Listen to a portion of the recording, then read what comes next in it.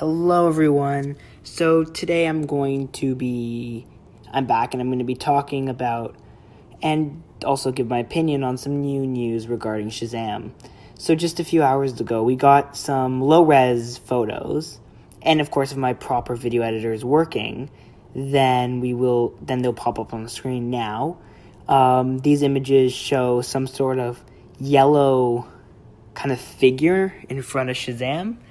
Um, these, of course, are leaked from the second trailer.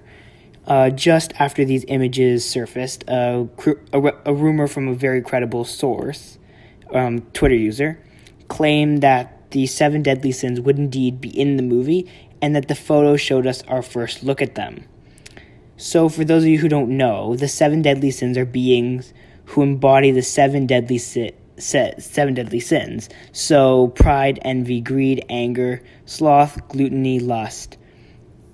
Um, each sin can inhabit living beings, make them uh, follow their desires. So, like, if pride kind of like takes over you, you'd be your pride would kind of come to the forefront of everything.